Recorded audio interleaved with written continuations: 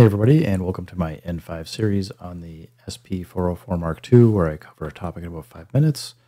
This is session 28.3, and today, this is probably going to be a pretty short one, but we're just going to go over the Juno chorus.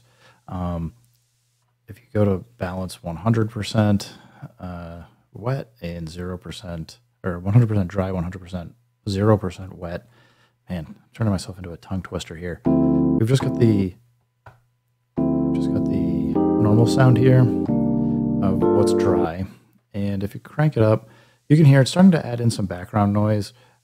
They've clearly decided, uh, to, Roland's decided to simulate some of that noise that you'd get from the Juno filters.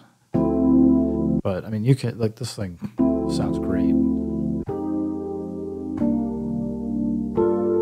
And I mean, if you want to adjust the noise, you've got the ability to, you get zero, you can turn it all the way down put it to 100. You just get that old analog sounding hiss.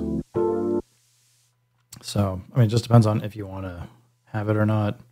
Personally, I, I wouldn't usually keep it at 50, maybe 10 or so.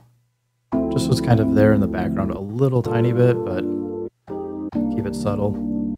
We've also got Juno 1, Juno 2, Juno 12, JX1, 2, and JX uh, or 1, 1, and 1, 2. So these are just different simulations of those choruses. And I mean, they just all sound really good. So, I mean, they've clearly come through and tune these to be have a very particular characteristic in the sound. So, um, yeah, I mean, I don't know that I have much more to say. I mean, the Juno chorus just sounds great. I, I think you can put it on just about anything and it'll sound awesome. So, anyway, guys, take it easy, keep making beats, and peace.